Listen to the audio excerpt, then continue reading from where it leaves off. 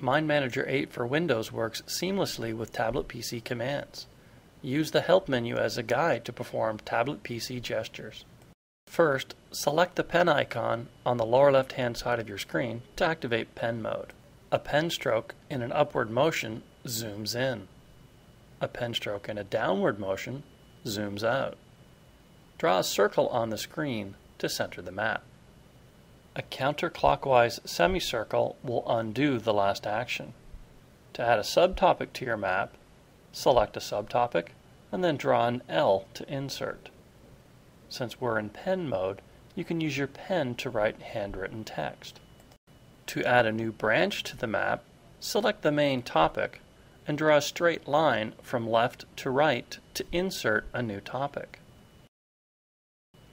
Now to move the newly created topic to another part of the map, select it, then create an upward swirl motion to cut. Select the destination branch, then draw an inverted V to paste.